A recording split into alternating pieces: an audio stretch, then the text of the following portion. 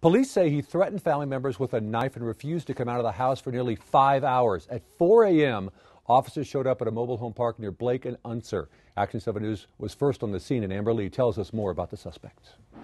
Residents at the Vista del Sol mobile home park woke up Sunday morning to a lot of commotion as several police officers and sheriff deputies had their eye on one home. At 4 this morning, they told me get back in my home and they had a shotgun and I'm going, okay, I'm moving back in my home. Police say 20 year old Geraldo Ledesma threatened his mother and mother's boyfriend with a knife. When officers arrived to the home, he refused to come out, forcing a SWAT situation to ensue. Neighbors say the activity was nerve wracking. Then now I just came back out to see what that loud boom was, and they told me, ma'am, get back in your home.